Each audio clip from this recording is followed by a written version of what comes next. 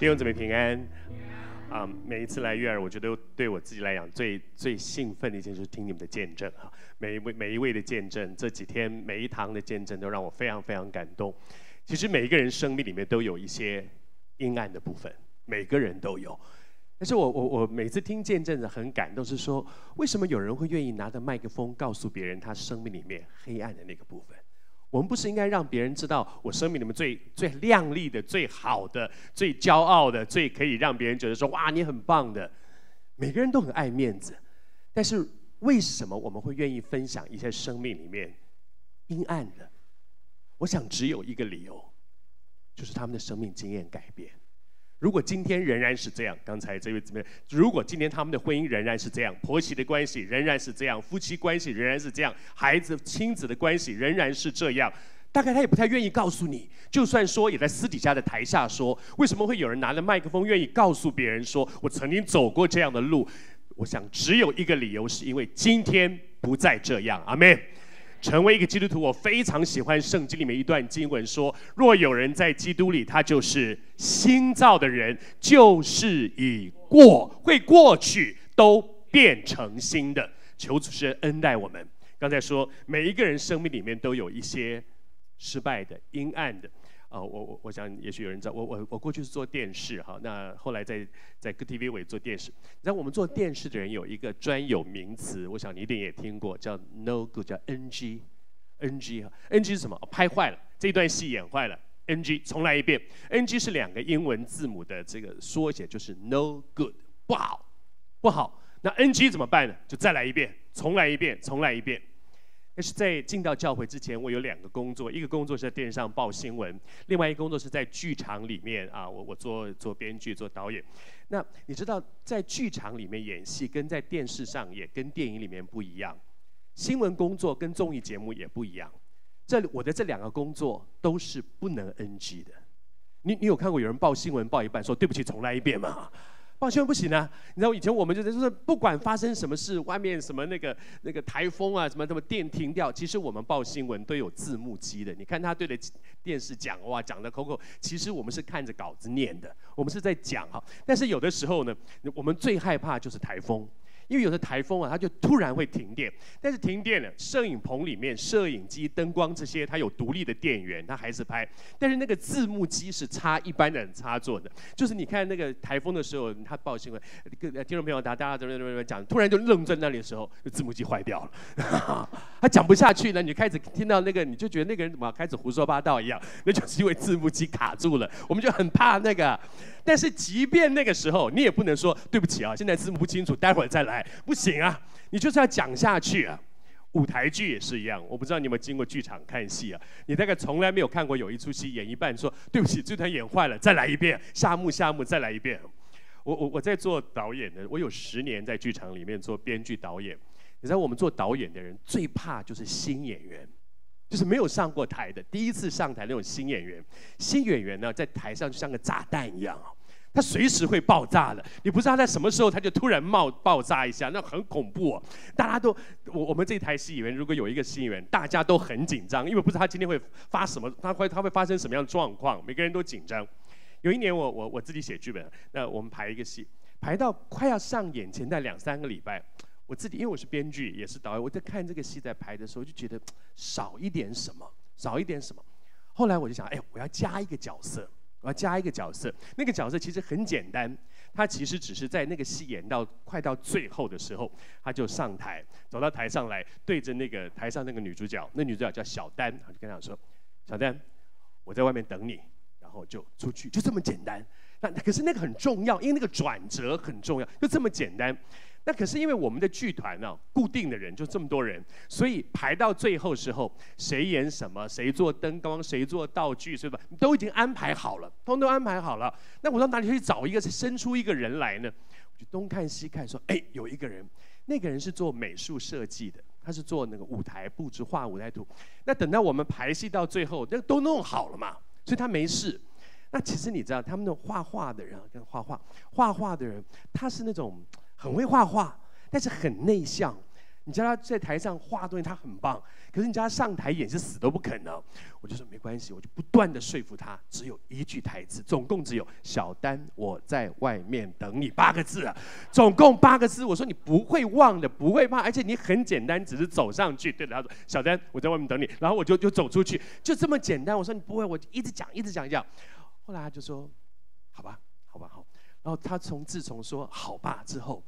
他就开始神经兮兮的，他太太有一天就打电话给我，跟我讲说：“公，那时候他们都叫我小杨哥，小杨哥，拜托你以后再也不要叫他演戏了。”我说：“为什么呢？”他说：“他每天对着我只说小丹，我在外面等你，小丹，我等。”他就一直讲，他就怕会忘啊，一直讲，一直讲，一直讲，弄到全家气氛都很紧张，每个人都每天都在那里，小丹，我在外面等，小丹，我在不等。然后我想到他这么紧张啊，我就更怕。你知道新演员会出状况，就是因为紧张。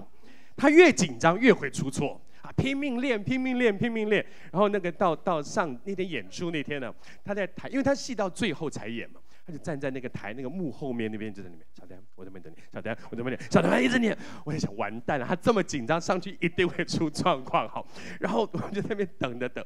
我站在他后面，时候到该出去的时候，他就不动了。我就在后面就一推他一下就走上去，然后就对着那女孩。他就不讲话，他就不讲，然后那个女的就看着他。现在你要怎样？一个人冲进来又不讲话，对着我看。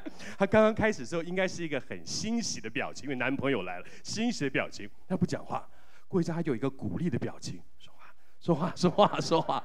再过一下有一个愤怒的表情，你跟我说话。好，最后憋了很久，你知道，在台上突然停下来哦。大家台下也不知道发生什么事，就是突突然停下来，那差不多快一分钟的时间，就在那里两个人这样对峙，好像两个公鸡这样对的一样。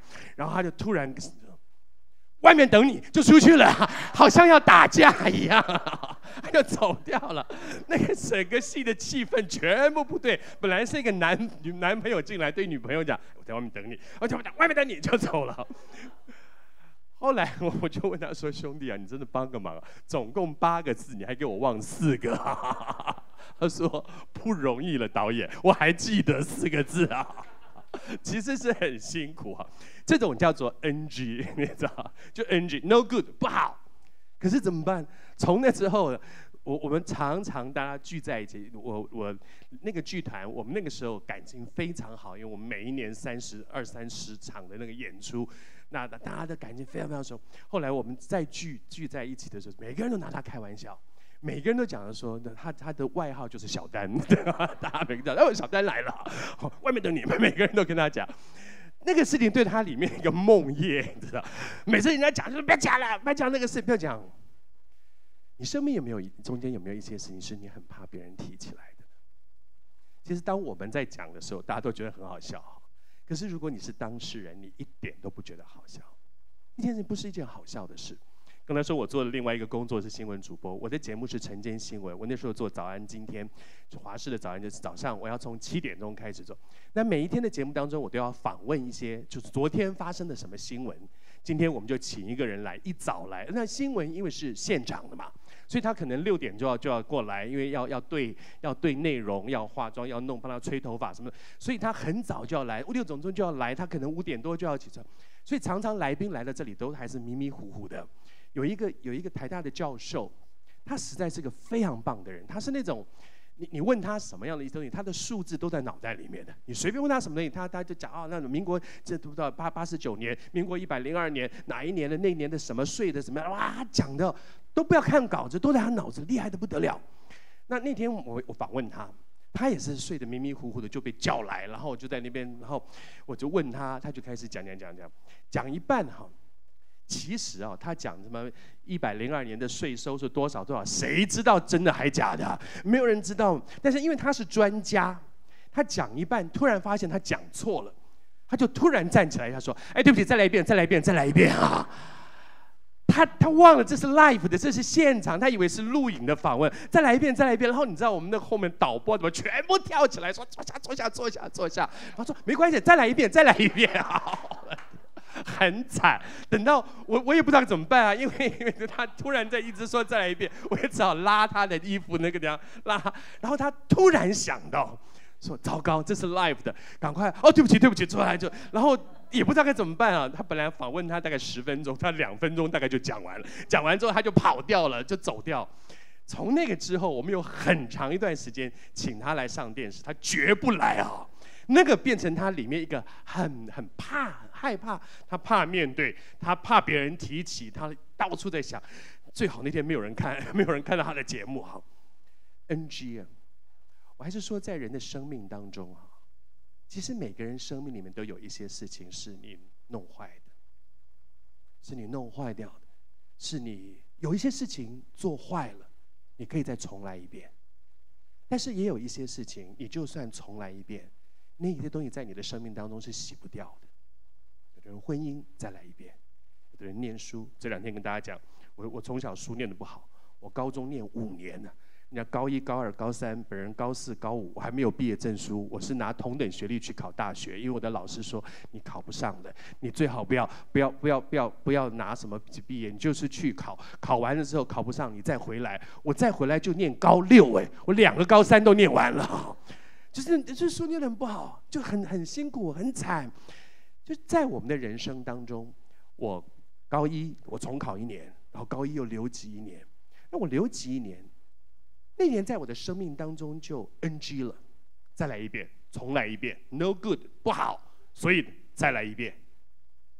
但是我十六岁重考，十七岁念第一年高一，十八岁念第二年高一。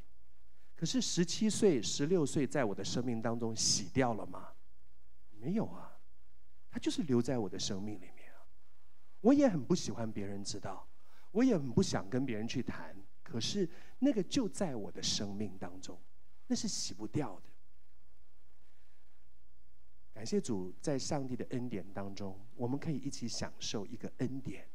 那个恩典是什么呢？刚才我们一起背了一段经文。今天有一些新朋友在我们中间，我今天想跟你分享一节圣经的话，就是刚才我们读的这段经文，《哥林多后书》第五章第十七节，一起来读好不好？出于神的话，每一句都带着能力，阿门。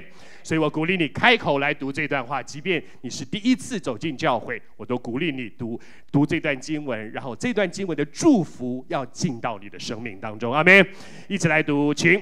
若有人在基督里。他就是新造的人，就是已过都变成。再来一遍好吗？一起来，请。若有人在基督里，他就是新造的人，就是已过都变成新的。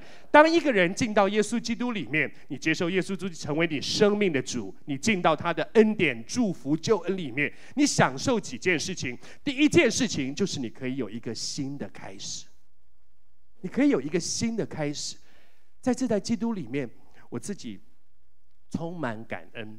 我这两天我跟大家分享到说，其实我从小在教会里面长大，我父亲是传道人，是是像王牧师一样，我父亲是一个牧师。但是我十二岁的时候我就受洗了。教会我们教会规定，小孩十二岁以后才可以洗受洗，所以我十二岁一到十二岁，我爸妈就带我去受洗，我就去受洗了。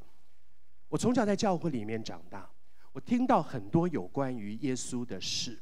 耶稣的故事我知道非常多，我很习惯教会的生活，教会里面要做的每一件事我都熟悉。教会里面要读圣经，我也会读圣经。教会要我们要祷告，我也很会祷告。我小的时候在主日学，小朋友像他们这样在主日学里面，那每一次那个那个聚完会，那老师说今天谁要做结束祷告？通常小朋友就说不要不要不要不要，只有一个人就是我，我就我要，因为我知道那个一祷告完就会有那个乖宝宝卡片，就可以拿到那个，然后我就要，我每次说我要做结束祷告，我们同班的同学就哦，为什么呢？因为我祷告特长，我非常长，那我为什么长呢？因为我就去观察，我不会祷告啊，我就去看那些大人怎么祷告，我就发现哦，原来大人的祷告就是背圣经。而且圣经那个里面的圣经的话越多越属灵啊，所以我就会背哦，我就我也很会背圣经啊，背背背背完就开始了。然后老师要叫做结束祷告、散会的祷告，大家都赶快要走了，我就老师叫我祷告起来。主啊，谢谢你，起初你创造天地，创世纪开始了啊，然后我就慢慢把我会背的经文一直背，一直背，一直背，一直背，背了很久，背了十几分钟之后，就说后来耶稣基督降生了啊，到新约了。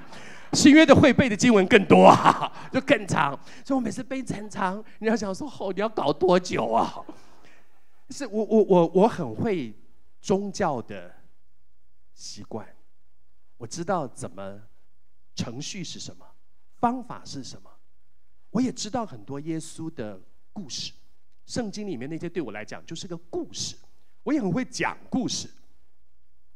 但是你知道，我知道耶稣，却不认识耶稣。知道耶稣跟认识耶稣不一样。什么叫做知道？我过去做新闻工作，我报很多美国总统的事、英国首相的事、台湾的几届总统。我我做我做新闻主播的时候，他们做的，我们报新闻都会报道他们的事，甚至有很多事情是你不知道的，因为我们是记者，我都知道。但是这不表示我认识他，我知道非常多李登辉的事情，可是我跟他没有私交，我不认识李登辉。我知道很多阿扁的事。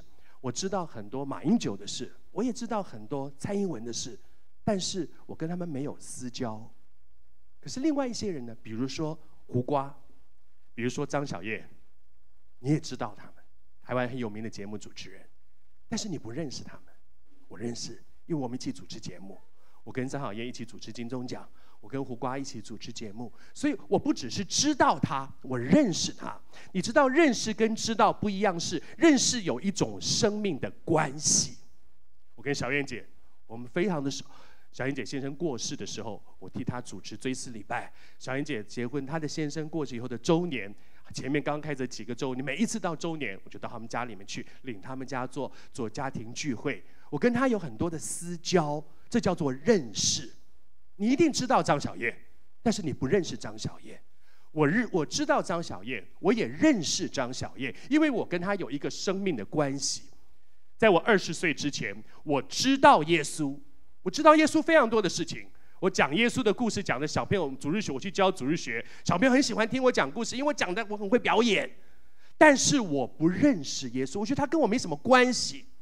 一直到我二十岁的时候，我现在生命里面一个很大的困境。刚才跟你讲，我二十岁的时候，我二十岁了，我还在念高中，然后我连高中毕业证书都拿不到。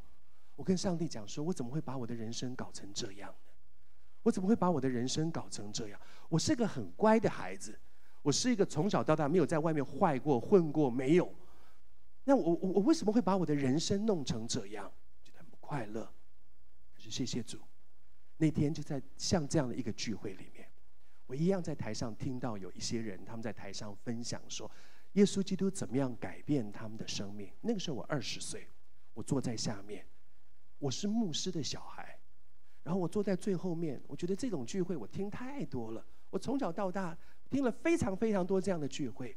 可是那一天我突然有一个感觉说，为什么同样信耶稣，他的生命可以这样真实的经验耶稣，但是我永远是听别人的。对我来讲，我有一堆我的问题，可是又解决不了。他们的婚姻有问题，解决了；健康有问题，解决了；财务有问题，解决了。我呢？那一天我坐在最后面，我跟主耶稣说：“主耶稣啊，我诚实的跟你说，我根本不知道你是真的还是假的。对我来讲，你跟孔子一样，孟子一样，就是一个一个很了不起的人。但是你是真的还是假的，我搞不清楚。我也没见过你，我也没听过你跟我说话。”老实讲，我说你也不要突然跟我说话，你会吓死我！我很害怕你突然那个事情口哨，很吓死我。我说主，但是我很诚实的说，我把我的人生搞得一团糟。我是个很乖的孩子，我是个很认真的孩子，可是为什么我把我的人生搞成这样呢？身体身体不好，功课功课不好，人际关系人际关，我念男校。在男校里，我高中、初中、高中都是男校。我想男，我我昨天前两天我跟大家讲说，我是那个从初中一年级到我大学毕业不能上体育课的人。你知道，男生在男校里面最讨厌这种男生，弱不禁风，一下又晕倒了，一下又大家都很讨厌我。可是我在心里想，我也不是故意的，我就是会晕嘛。我每次一晕倒，我们同学就跑去踹我说：“起来了，不要装了，你都晕倒了还被人家踹一脚。”我就觉得说，上帝，我怎么会把我的人生搞成这样？没有一样是对的。觉得我的人生没有一样是对的。说主耶稣，可不可以跟你商量一下？如果你是真的神，你可不可以改变我的人生？过去这么长的时间，我我我处理我自己的人生，我的人生在我手上。我是认真的，我是很想要做好的，我从来也没有在外面坏过、混过。可是我怎么就是弄成这样呢？没有一样对事情是对的。那一天，其实我是最后，昨天晚上我在这里讲说，其实我是最后等到那个那个祷告到最后的时候，我才一个人挪挪挪挪挪到前面，因为我觉得很不好意思。全教会人都认识我，你知道吗？就是牧师的小孩，全教会人都认识我，大家都知道我十二岁就受洗了，大家都知道我在教会还有又带敬拜，又又唱诗班，又又教主日学，又是我有一堆的服饰，然后怎么搞的？呼召新耶稣，他突然走到前面去了，这个人是怎么回事啊？所以我觉得很不好意思，我觉得很丢脸，我觉得我现在走出去，人家一定会笑我，人家会觉得说你搞什么东西？你都受洗八年了，怎么现在才说要信耶稣？你到底怎么回事？可是那一天，我里面有一个感动，说我为什么不试试看呢？这是我的人生，这不是别人的人生。你笑不笑我与我无关，因为你笑完我，你回去过你的人生。我背完你笑完之后，我也要过我自己的人生。这是我的人生。如果有一个机会可以跨出去试试看，我管你笑不笑我的，我我我就是要走出去。我最后走出来。那年我二十岁，今年我六十二岁，四十二年过去。真是告诉你说，我经验什么叫做在耶稣基督里有一个新的开始。谢谢主，上帝透过一个老师给我很大的帮助。我有一个老师，他是我的一个一个国文老师，他对我他给我很大的帮助。他是个基督徒，其实那时候我不知道，我后来才知道他是基督徒。他对我非常好。我的数学很烂，英文很烂，物理很烂，化学很烂，反正都是烂，都是个位数的分数，都真的很很少。但是我古文非常非常好，我很会写文章。我的那个老师把我的作文簿拿去，不知道你们还记不记得？我们那个年代啊，写作文是要用毛笔写的。那毛笔写大家都很不爱，有些男生谁有性子耐心，你慢慢写毛笔，大家说写两页混过去就好了。我没有，我我我的我的那个。作文呢，人家一两页，我写五页，然后我很认真的写。那我碰到一个老老师，我的作文簿里面我写五页已经非常非常多了，他的评语八页啊，他评语比我写的还多。你知道，他就写很长，然后他一点都不把我当小孩子，他把我当一个大人，他在跟我讨论我写的内容，他跟我讲一下，哇，你知道我从小书念的很糟糕的，就是那种高留级的什么。但是有一个老师这么看重我，我每一篇作文他都这样的细细的，然后他每常常下课就把我找去，就跟我讲说：“寇少恩，你是老师教中文教古文以来啊，你的你的文章写的最好，你将来有一天你写的书，你你你的书一定会被印成书印成签，那个时候叫签字排版的签字，你的你的书六排子，有一天你一定会这样，你一定会这样，你一定要好好念，你一定要去考中文系，你将来一定会一定会。”要你做什么都不行的时候，有一个人一直跟你这样讲的时候，你都觉得他是不是有病啊？他就是这样。然后那个时候还要写周记，你记得吗？就是那位要写周记，那个周记啊，真的就是少年不是愁滋味，为赋新词强说愁。在周记里面，觉得全世界人都对不起我，教育部对不起我，什么烂教育制度，政府对不起我，总统对不起我，我爸对不起我，妈是为对不起我。我妈一天到晚，我们家八个小孩，八个我最小。我妈最常骂我的一句话说：“你怎么不像你哥？你怎么不像你姐？”因为我我我有个哥哥是太空博士，你知道？就那个年代，就是那种建中、台大硕士、博士、超博士、超超博士、超超超超博士，然后太空博士，他在太空总署里面工作了。那种那种那种人，你有一个那样的哥哥啊，你会气死，你知道？你怎么做都做不过他。他是那种超超博士，我是高中念五年没有毕业的，一天到晚被我妈骂。我妈每次骂我，我就傻傻的。我是一个很很很呆的孩子，我就我这样看着我妈。我妈就说：“骂你还看？哦，骂你不能看哦！赶快低下头来。”我不知道她为什么不能看，我就低头。然后然后就被骂。我心里在想：你骂我，我还没问你呢，又不是我挑的，也不是八个在这里，我故意挑那个，是你这么把我生成这样的。我也不希望我生成这样。知道在那个过程当中，他他就。每次被骂嘛，所以我我的那个周记都是在发牢骚的，哇，觉得全世界人都对不起我。他就到我，他不是我导师，他就到我导师那里把我的周记找去。然后呢，老师周记都是随便评，比如说啊通顺，然后就是说说什么啊什么什么什么签一个字就就过去了。他拿那个那个时候啊，就那种像那种 post 的那种贴纸啊，他就在我的那个周记上贴小字条。就一直回复我啊，他他就很认真的会会啊，我的我的周记，人家这样这样一本呢，我的周记啊，这么厚一本，里面全部是夹的他的他写的东西，夹在那个里面。那个小男生呢，那个时候大概十八九岁的一个男生，一个老师，哦，每一次发周记发作文，全班都跑来看，因为大家都知道。然后你还要说好烦哦，作文簿都被他写光了。其实我高兴极了，我觉得怎么会有一个人这么看重我啊？就很很努力。你知道，上帝透过一个老师鼓励我说：“寇少。”死也要拼上去，我一定要拼上去，我一定要拼上去。我后来考到福，我我真的是拿同等学历去考，然后我去考到我考到复大中文系。我上了大学之后，其实我整个的人生有一个很大的翻转。我在大学的时候拿全国辩论比赛冠军，我在大学的时候主持节目，我在大学时候演戏。我二十岁拿同等学历，我连高中毕业证书都没有。三十岁的时候，我从美国念完书回来，我在大学教书，我在国立大学教书。在我每一天开车去板桥，我在我在啊台湾艺术学院，以前叫国立艺专，台湾艺术学院教书。我开车去每个礼拜，我开车到到板桥去教书。我心里边充满感恩，说十年前我连一张高中毕业证书都拿不到，我真的没有高中毕业证书。十年后。我可以在国立大学教书。上帝真的会翻转人的生命，上帝真的会翻转人的生命。在上帝的手中，你会经验上帝怎么在你的人生当中让你经验一个新的开始。若有人在基督里，他就是新造的人。你可以有一个新的开始，而在这个新的开始里面，什么样的一个新的开始呢？如果我能够再有一次机会重来。而从来的结果跟上次一样，我第一次的婚姻失败了，我我我再结一次婚，第二次结的婚姻跟第一次差不了太多，那新的开始有什么用呢？你只不过是重复错误而已。但是我怎么样可以有一个新的开始，却有一个不一样的开始，不是重复错误的开始？那就需要第二句话：若有人在基督里，他就是新造的人。后面说旧事已过，有一些东西要过去。而不是在那个地方一直打转，至少有两件事情在我们的生命里面要过去。第一个过去是什么呢？很多在我们的生里面过不去的事情，是在我们的人生当中有一些不快乐的记忆过不去。那个不快乐的记忆过不去，那个不快乐记忆绑住我们。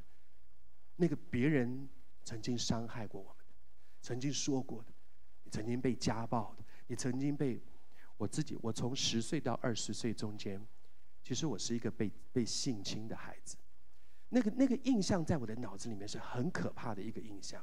我过去这个礼拜还在我们教会里面跟我们的弟兄姊妹讲说，其实我我到了很大很大，我都三十岁了，四十岁，我跟齐妹都结婚了。其实有很长的一段时间，我非常害怕别人从后面抱我。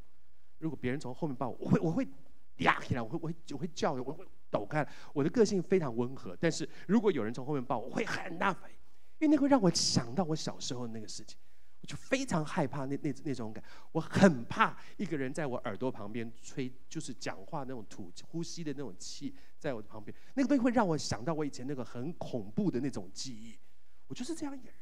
那在那个过程当中，那样子一直种那种经历在我的生命里面，我每次有有人在我后面，有人在我后面抱。有人在我背后这边跟我讲话，然后那个那个呼吸的气在我耳旁，我都会很紧。包括前面师母在这里，他就可可以做这个。我都跟他结婚了，我老婆从后面抱我，我都会说你不要这样子，你不要在我旁边跟我讲话。他就觉得很怪啊，我们夫妻耶，他觉得寇少你神经病，我刚刚还跟你好好讲话，怎么突然我抱你一下，你突然这么大，你这么反应干什么？因为那个东西在我的生命里有一些旧事过不去。那种可怕的记忆在我里面过不去，但是谢谢主，在耶稣基督里，你知道医治是一个过程，上帝在那个过程当中带我一步一步一步一步经历那个医治，经历那个医治在我们的生命当中。几年前我得癌症，我得癌症之后有一段化疗的历程，在那个化疗的历程里面，它其实不是你一针打下去之后，嗯，好像感冒特效药就就没事了。它其实是个过程，第一次化疗，第二次化疗，第三次化疗，第四次化疗，每一次化疗情况越来越一步步到到好，我我搞了快半年，然后再休养半年，然后我可以重新走出来。今天我可以站在这里很大声的跟你分享信息，那是一个医治的过程，它不是好像一个特效药，啪一下突然，上帝在我的生命当中也有一个过程，带我去走那个过程，在那个过程里面我经验。前两个礼拜，我跟基州牧师还有师母，我们一起到到啊印尼那边去，在那边我们有几十，有大概五十几位的牧师师母，我们在一起，在那个聚会当中啊，有中间有一堂聚会，在那个聚会里面啊，有一位我我我不知道他有没有来过这边教会，我我的一个好朋友，也是基中那个好朋友，就是刘群茂牧师哈，是那个士林良的群茂有来过吗？那那个。刘刘牧师，他是跟我们是很好的朋友，我们两个年龄差不多，大我一岁，我们很好，非常非常好。那他在台上分享一些东西啊，就一直开我玩笑，就一直讲我，一直讲我。你知道我们我们非常好，好到一个地步，就是你你知道，就是反反正他就开玩笑，反正就一直弄我，一直讲我，一直讲我讲，然后大家就笑，而我也在那里笑。啊，等到笑笑笑笑笑笑笑笑完之后，他下来，我我我坐在下面嘛，他就下来，他就从后面这样抱我一下。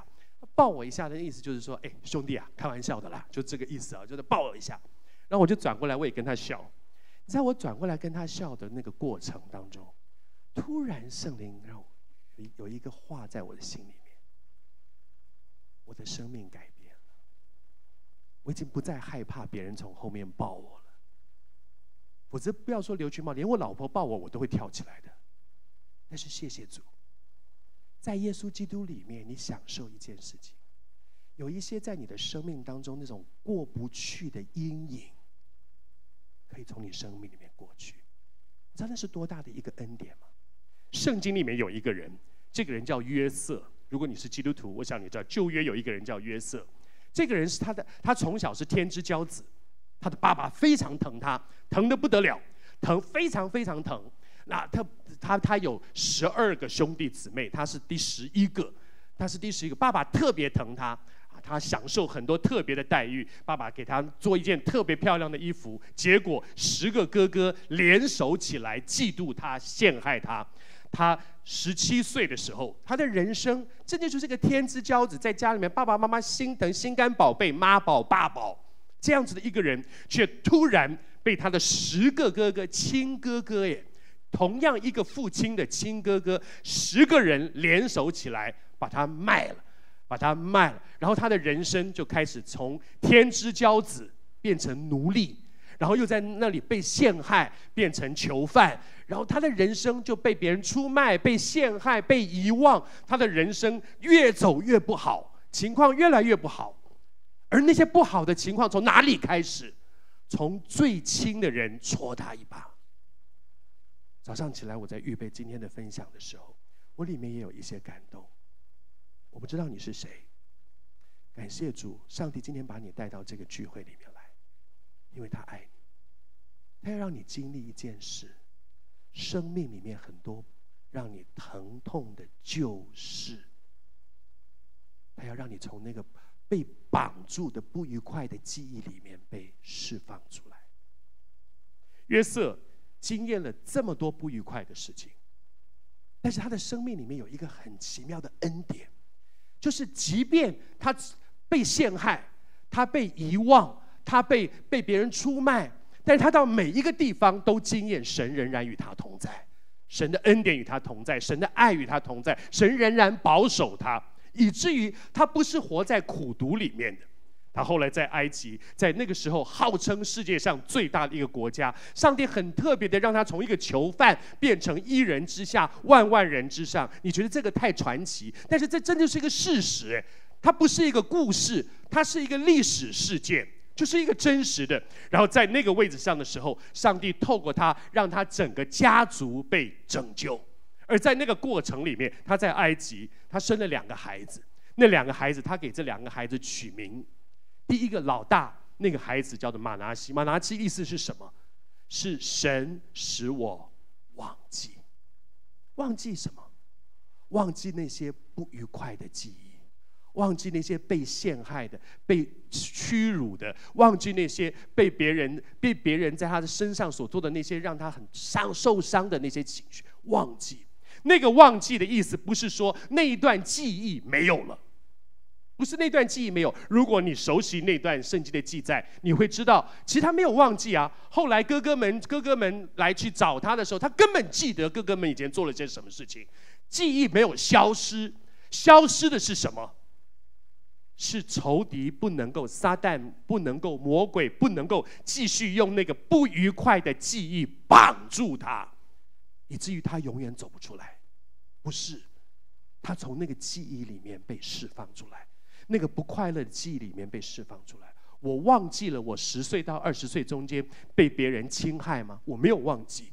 但是当那天瞿茂抱我的时候，我非常清楚的知道一件事情，那个记忆，那个可怕的记忆。已经不再辖制我了，他不再绑住我了，我不在乎了，我可以很开朗的像每一个男孩子一样，另外一个弟兄抱我一下就抱嘛。谢谢主，你的生命也可以经验旧事已过。然后他生了第二个儿子，第二个字叫以法莲，以法莲的意思是说神使我兴盛。那个意思是什么？是上帝使我兴盛。上帝把那些被被别人掠夺去的要补还给你。上帝不是在大马路上打你一个巴掌，然后在在背后塞你两个糖。神使你在受羞辱、受屈辱的地方，神会加倍的还给你。在那个地方，神会让你享受那个恩典和丰盛。但是，请你记得，马拿西在以法莲之前。选择遗忘，选择饶恕，你得到真实的从神而来的恩典，主就带你进到他的丰盛里面。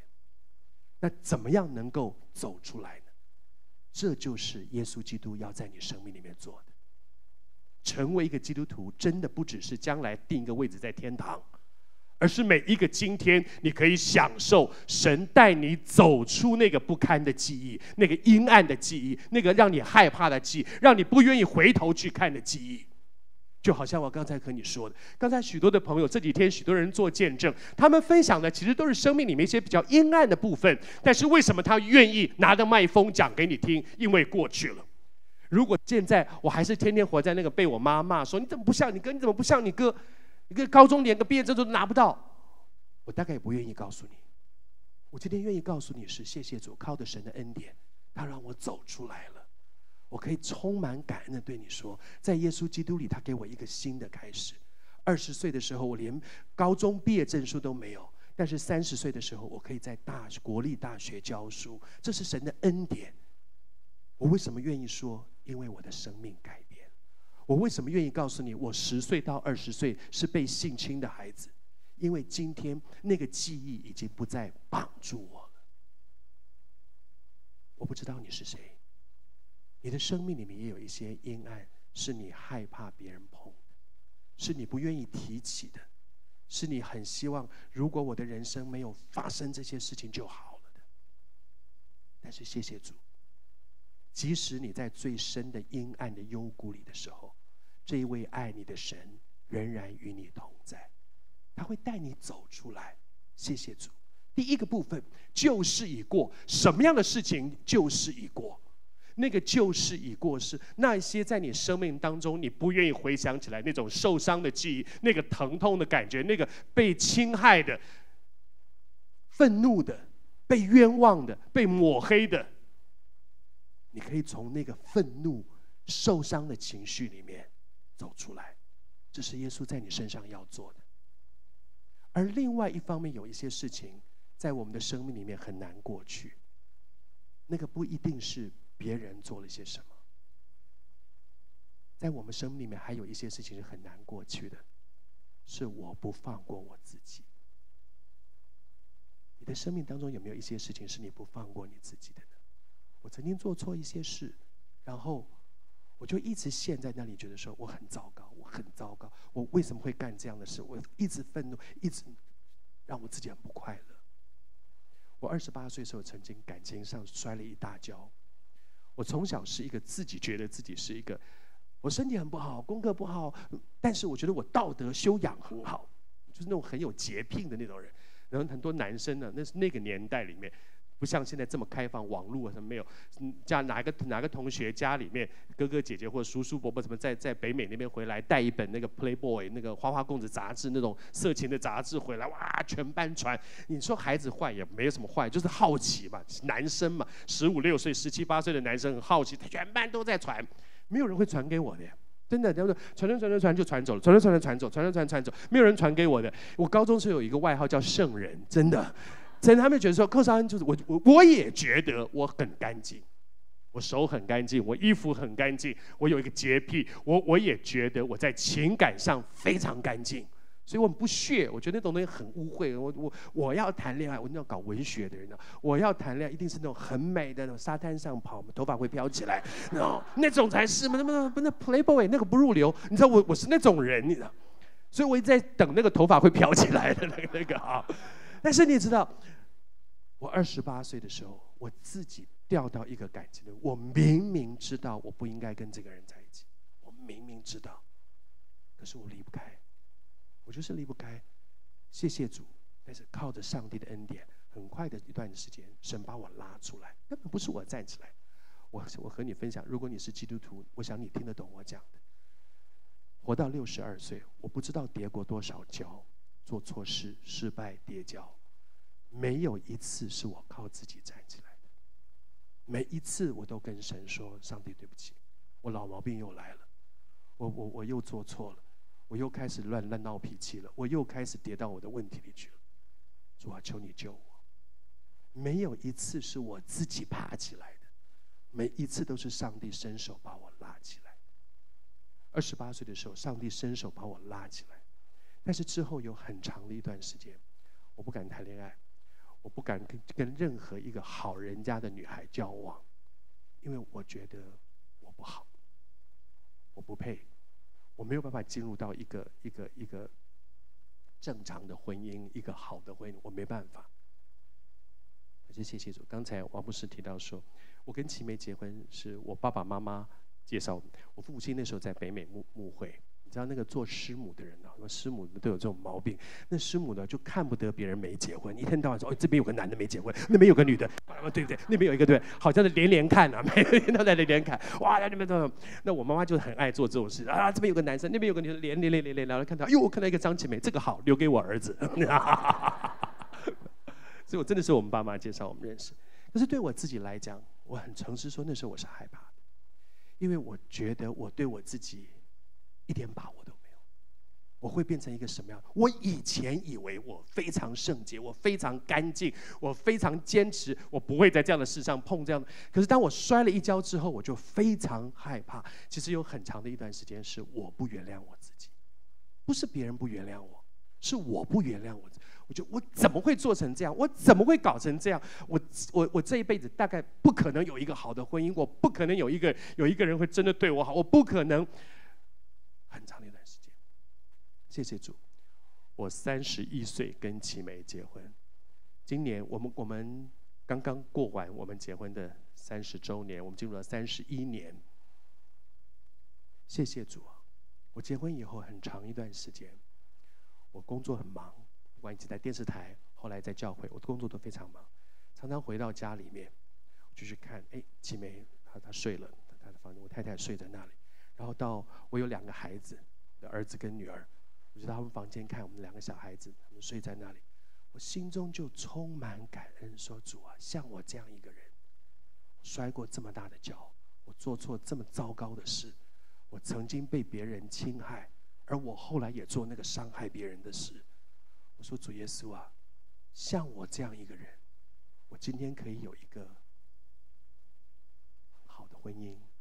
一个很爱我的妻子，一个我极可爱的两个孩子，我可以享受这样的婚姻家庭。弟兄姊妹，你知道吗？在我的人生当中，我我愿意跟你分享这些，是因为我这就是我的人生。我就是这样走错的，我就是这样摔在地上的，我也是就是这样，上帝把我捡回来的。我也相信，不论在你的人生当中，刚才说旧事已过，在我的生命里面。我经验过很长一段时间，我忘不掉别人对我的伤害。在我的人生当中，我也经历很长的一段时间，我放不过我自己。觉得我很糟糕，我很恶劣。所以今天刚才还有人跟我讲说啊，公司我听你的恩典三六，我很得帮助我，你让我我自己知道，我只我只是一个极渺小、失败、软弱的人。如果可以被主用，那就叫做恩典。上帝在你身上也有一个荣耀的计划。如果你像我这样被别人伤害，也伤害别人，做错事也被别人的错事来伤到，可是，在基督里，你真的可以经验旧事已过，都变成新的。最后跟你分享，那个都变成新的。我们再来一起来念一段经文，好不好？一起都来，再来一遍，一起来，请。若有人在基督里，他就是新造的人，旧事已过，都变成新的。那个变成新，那个变就是改变的变，那个变，那个变，其实在原文里面是一个进行式。所以，如果我们更准确一点的翻译是说，如果有一个人在耶稣基督里，你的生命会不断的改变，会天天持续不断的改变。有的时候，谢谢主，有的人真的经验成为一个基督徒，生命有一个很大的翻转，忽然感谢赞美主。但是也有的时候，上帝就是一点一点一点带你经历一个改变的过程，就好像有一些病，你可能打一针你就立刻好了。感冒立刻好了，那个症状都没有了。但是也有一些疾病，可能你需要有一个疗程。上帝知道什么是对你最好的，在你的生命当中，我认识孙悦孙叔，我想到了，孙叔是我极好的一个忘年交。孙叔他的见证是什么？他的见证就是他一辈子抽烟，他其实是肺。大家都知道，他后来过世其实是肺嘛，他是肺腺癌。那那他一辈子抽烟抽了三，他从好像十岁还十二岁就开始抽烟了，一直抽到差不多五十几岁。他后来戒烟是因为怎么样？他信耶稣了，他认真的读圣经。有一段圣经的话在他的心里面，就是凡事都可行，但不都有益处；凡事都可行，但不都造就人。他在拍那时候，他在拍老莫，老莫的，我想大家知道他得奖的那部电影啊，老莫的第二个春天，他演一个老兵，在拍一个拍电影就很慢嘛，就在打灯光，打灯光一直在那边弄，在打灯光的时候，在休息的时候，他就点一根烟在抽烟。在抽烟的时候，就有几个年轻人就跑来，就说：“啊，孙叔，大家他是全台湾人的孙叔叔嘛，全世界人都叫他孙叔叔。我妈妈叫他孙叔叔，我也叫他孙叔叔，我儿子也叫他孙叔叔。那就就全孙叔叔是个代名词，你知道，他不是一个称谓，这个代名词，所有人都叫他孙叔。啊，马上找孙叔，啊，在在跟他讲话，就跟他聊天，影迷嘛，就跟他聊天。他就在那里一边抽烟一边跟他们聊天。突然，圣灵提醒他：你现在在这里抽烟，你吐出这些烟来。”对这些人有造就吗？凡事都可行，但不都造就人。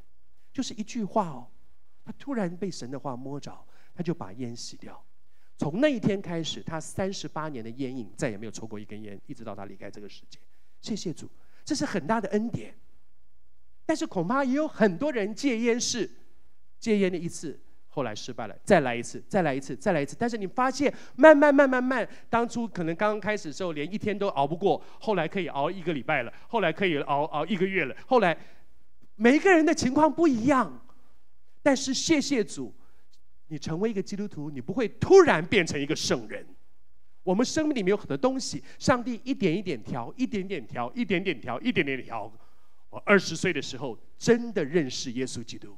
四十二年来，我仍然在经验上帝在我身上一点一点调，一点点调，一点点的更新。上帝祝福你，在耶稣基督里，每一个人，当你在耶稣基督里，你都会经验一个力量，那个力量叫做改变。这几天和弟兄们分享说，很多人都说宗教都劝人为善，的确，但是成为一个基督徒最宝贵的是，你会承认一件事：我需要的不是一个改变的道理，劝。你需要的恐怕是那个改变的力量，有力量让你去做到那个该做的，有力量让你去拒绝那个该拒绝的。在耶稣基督里，为什么有力量？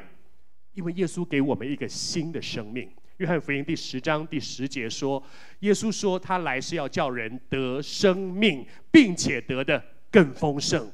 有生命就有力量。”最后讲一件事情做结束，在我我我自己的。成长的过程里面，成长的过程当中，我非常喜欢种养花种树。我喜欢，我小的时候，我们家有一个小小的院子，那个院子上面有有人是吃那个柚子啊，柚子那个不是有很多籽嘛，我就拿去埋在那土里种，就一段时间还真的就发芽呀，就真的发，后来慢慢慢慢好几年下去，它就慢慢长出一个小树来，就很开心。每天你的小孩嘛，自己种的就很开心，每天去浇水啊，等等。后来有一次，我们家因为人实在太多，我们家八个小孩，所以房子不够住。我爸妈就说不行，我们要重新 remodel，重新整修我们的房子，就把那个房子拆掉了，要盖得更大一点。那为了要盖得更大一点，院子就没有了。那当然那个树就被砍掉了嘛，树就被砍掉，就很可惜啊。那时候我种的就被砍掉。过了一阵子，我们搬回去，那那个是那种磨石子地，你记得吗？有一种以前有一种磨石子地，那种像石板很很硬的那个磨石子地。那那我们家的客厅。在那个客厅里面，他搬回去大概不到三个月啊，那客厅的地就裂了。哦，我爸妈就很生气，刚刚才才整修完，那个地一下就裂了，裂了。啊，再过一段时间呢，在那个裂缝里面呢，就冒出一个像小草一样的树苗来啊。然后我爸妈说：“这什么话？客厅长个树出来啊？”那我再去看呢，哎呦，那个位置就是以前我的那个柚子树的位置啊。啊，那个时候我们家。我我父亲那个时候是林良堂的牧，我父亲是台北林良堂的第一个传道人。那他那个时候林良堂那时候有很多台大的学生，那那些台大学生他们就就到到牧师家去看嘛，就去看，然后就说：“哎呀，牧师啊，这是那个柚子树的苗，那柚子树就真的是我原来那个柚子树啊，它又长出来，它被砍掉了，但又长出来。但是你知道吗？我看到那个真的很很特别哦，那个磨石子地有多硬啊！”石头去磨出来，那个磨着硬啊！你你拿你拿你拿榔头锤半天都不一定锤得裂。看那个小树苗有的多嫩，那个小树苗你拿手捏一捏，像小草一样就烂掉了。但是那个小树苗可以这样顶顶顶顶顶，把一个石头那么硬的石头给顶出一个缝来，冒出头来。为什么？石头再硬，它是没有生命。小草再软，它就是有生命，有生命就有力量。主给我们一个新的生命，在我们原来的这个生命里面，你说我本来就有一个生命，他为什么还要给我一个新的生命？因为我们不得不承认，在我原来的这生命里面有非常多的事情是立志行善由得我行出来就不行嘛，我就做不到嘛。这一位独一的真神耶稣基督，神来做人。我们所信的这一位耶稣基督，就是这一位独一的真神，他来做人。你知道，耶稣基督来到世上成为人，为我们降生，为我们受死，为我们的罪钉死在十字架上，复活升天。这是人类历史上一个划时代的一件事。我这样说一点都不是基督徒放大我们自己的信仰。今年是，今年是纪元多少年？二零一九，对不对？二零一九年。二零一九年是从哪一年开始算起？二零一九，就是从耶稣降生，你知道吗？不管你信回教、信道教、像一贯道、信信佛教、信任何一个教，今年就是二零一九年，就是公元二零一九年，这是公元二零一九年，也就是所有的人，全世界所有的人都照这个标准。那那一天是从什么时候开始？从耶稣基督降生开始，也就是说，这一位独一的真神，他来降生在人类历史上。他来之前叫纪元前，他来之后叫纪元后。他是那个划时代的一件大事，因为神来做人，他来为我们钉死在十字架上，为我们扶上赎价，他给我们一个新的生命。你要不要试试看，来认识这一位恩典的主？我邀请敬拜的团带我们来敬拜好吗？我们还是来唱这几天唱的这首诗歌。我觉得这首诗歌真好，认识耶稣基督。让他成为你生命的主，这是一条恩典之路。求主帮助我们。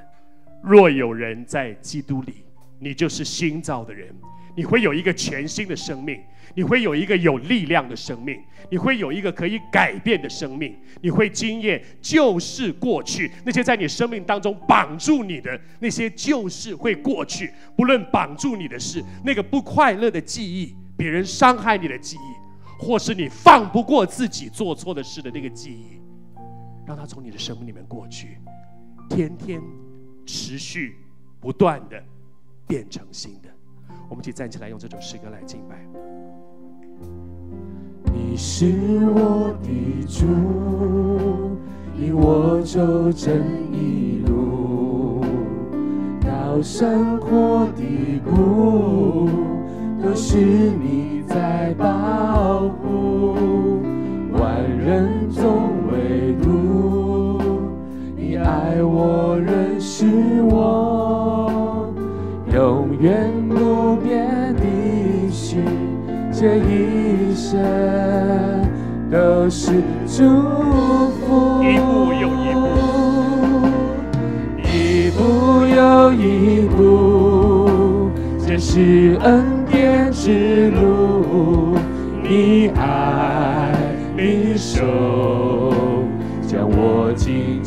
抓住。一步又一步，这是盼望之路。你爱，你手牵引我走这人生路。我要带你一起来做一个祷告。我们这堂已经到最后，请再给我几分钟的时间，我们要做一个结束。但是我不要你这样离开，我渴望今天在你的生命当中，你做一个决定，你要不要试试看跨出这一步，让这一位独一的真神耶稣基督也成为你的帮助，给你力量，让你经验什么是旧事已过。我还是说，在我的人生当中，每一次当我陷在一个黑暗、污秽、软弱、无能为力里面，没有一次是我伸手抓住神，都是神伸手抓住我，他不放手。主，谢谢你。主，每一次有机会可以和别人分享你在我身上荣耀的恩典和工作，主，我向你感恩。主，我求你今天，主，我为在这里的许多人，主，我求你自己施恩。今天，愿你在这个聚会当中做成你荣耀的工作。我向你求，你怎么样恩待我？你怎么样帮助我？你怎么样给我有一个新的机会？我求你自己施恩，让今天在这里的每一个人都被你的手钉痕的手紧紧握住。弟兄姊妹，在在做祷告之前，我里面有一个感动。也许你觉得在我的人生当中，我不知道我要怎么样往前走。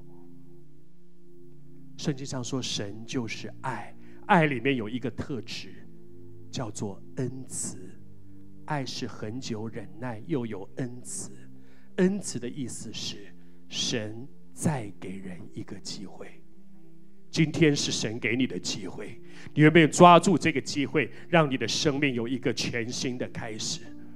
求主施恩，在我们中间有好几位，你也许第一天走进教会，我相信今天主也在对你的心说话。你愿不愿意试试看，跟我一起来做一个祷告？你说我不会祷告，我带你，我说一句，你跟我说一句，你试试看，跨出这一步。在我们中间有一些人，你可能跟我一样，可能在教会里面一段时间了。你知道耶稣，但是今天主要带你去认识耶稣，经历他在你生命当中那个恩典的道路，不是只是听别人讲，不是永远是别人的见证，你要去经亲身经历，从风闻神到亲眼看见，亲身经历这位恩典的主，不要让你继续留在知道耶稣，你有没有跨出这一步？我一样要带你做这个祷告。基督徒的弟兄姊妹，我还是邀请你，我们都走过这样的路，所以当我带着他们一起祷告的时候，也请你陪着他们一起开口祷告，好吗？陪着他们一起开口祷告，你预备好了吗？我们一起来祷告。主耶稣，主耶稣，我谢谢你，我谢谢你给我一个机会给我一个机会来认识你，来认识你，请你帮助我，请你帮助我，给我力量，给我力量，让我经验让我惊艳旧事已过，旧事已过，我有一个新的开始，我有一个新一个有力量的开始。一个始，有力量一个会改变的开始。一。个会改变的开始。我承认。我承认。我做错很多事，做错很多事，请你帮助我，请你帮助我，让我经验让我惊艳你是真神，你是真神，是活神，是活神，是帮助我的神是。帮助我这是我的祷告。这是我的祷告。祷告到最后，我们通常会说阿门。那个阿门的意思是说，真的，我的祷告是诚心的，是真的。亲爱的朋友，我告诉你，刚才的祷告，若是你是诚心的、真心的，上帝就进到你的恩生命当中，进到你里面，他要在你的生命当中做成奇妙的工作。我要为你做一个祝福的祷告。你知道这一步真的是一个极深的祝福。你听过我刚才走过的路，我要告诉你，这真的是一条恩典的道路。我要请你，好不好？我邀请你闭上眼睛。但是刚才你真心做这样的祷告，特别你还不是基督徒的，或者是说你过去信的迷迷糊糊，但是今天你要跨出这一步的，刚才你真心做这样的祷告，你赶快把手举高来，我要为你来祝福。谢谢主，感谢主，谢谢主，请放下。感谢主，请放下。我邀请敬拜团在唱这首歌的副歌的时候，我邀请我们中间，因为人太多了，太多人举起手来。但是可不可以？如果你还不是基督徒的，请你到前面来，我要特别为你来祝福。你的朋友如果还不是基督徒，你陪他到前面来，我们一起来领受一个上帝给你知道。感谢主，到前面来，我们用副歌来敬拜神，一步又一步。一步阿弥！一起来敬拜，谢谢主，一起来进步，谢谢主，给自己一个机会。或者我们中间有一些人，你说我虽然其实有来教会很长的时间，但是就像科牧师讲的，我根本只知道很多神，我没有真实的经历神。但是今天你要开始经历这位又真又活的神，赶快到前面来，赶快到前面来，谢谢主，阿门，谢谢主，再来，谢谢主，再来一步又一步，谢谢主。一步又就是这样一步一步走，谢谢主，前面好多人，我感觉主在等你，给你自己的生命有一个机会，谢谢主，谢谢主，我感觉我们中间有一些弟兄，有一些男士，给你自己有一个机会，我们中间有一些人，你曾经做错一些很严重的事，你感觉你完全懂我刚才说的，不是别人饶不饶恕你，是你自己放不过你自己。跨出这一步，到神的面前来，再来一遍，一步又一步，一步又一步。谢谢主，谢谢主，我感觉在我们中间，主在等你，不要让今天就这样错过这一天。谢谢主，哈利路亚，谢谢主，阿门。是的，主，一步又一步，我感觉神在等你，还有几位你在挣扎。可是我真鼓励你跨出这一步，走到神的面前来。谢谢主，哈利路亚！最后一遍，我们再唱一步又一步。主等你，主啊，谢谢你，主啊，愿你在这个聚会的。谢谢主，谢谢主，哈利路亚！是的，主，阿门，阿门，阿门，阿门，阿门。谢谢主，哈利路亚！是的，主。一步又一步。跨出这一步，走到神的恩典当中。谢谢主，谢谢主耶稣，主赞美你，谢谢主。你的爱，你的手，你爱，你手，牵引我走这人生。天父，我们谢谢你，你是何等有恩典怜悯的神。主啊，在你那里总是有翻转的机会。主啊，我们人生不断发生任何的事，只要我们抬头仰望耶稣，我们心里呼叫耶稣的名，总是有得救的盼望。父啊，我们谢谢你，今天把这个盼望放在我们的当中，把我们要来依靠你。我们每一个人人生都要有一个新的翻转，主啊，特别为我们当中，主啊，有许多，主我们目前在环境、在家庭、在各样的事上有困难了。今天我们就要呼叫耶稣的名，主啊，我们要邀请你介入在我们的人生。耶稣，我们谢谢你，谢谢你的恩典，谢谢你。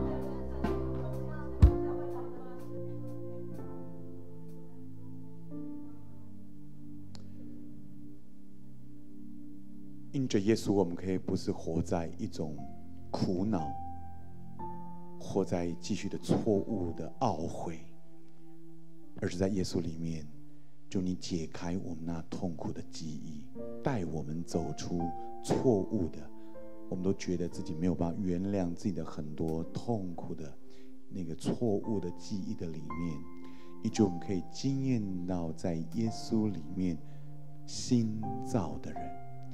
主要，是一个新造的，不是被控告的，不是在里面很多挣扎冲突的。主耶稣，我求你释放这样的恩典，在耶稣基督里面断开一切的锁链。主，连我们自己都不能原谅的那个错误、那个过犯，我们所觉得糟透了，但耶稣的宝血可以洗净。主啊，你十字架的钉痕手钉死所有的错误。住在耶稣里面是可以重来的，是有出路的，是有道路的，是有真理的，是可以通往天上宝座的。主，我求你今天把一个更新的灵赐给我们，带下安慰，得着力量，主，让我们勇气的继续面对人生的每一天。愿我主耶稣基督的恩惠、天赋上帝的慈爱、圣灵的感动、交通、安慰以及引导，常与我们众人同在，从今时直到永永远远。阿门。再把荣耀掌声归给神，祝福你旁边说，你的人生是一个新的开始，你的人生是新造的，有盼望的。一步又一步，这是恩典之路。你爱，你手，将我紧紧抓住。一步又一步，这是盼望之路。你爱，你手，牵引我走这人生路。一步又一步，这是恩典之路。你爱，你手，将我紧紧抓住。一步又一步，这是盼望之路。你爱，你手，牵引我走这人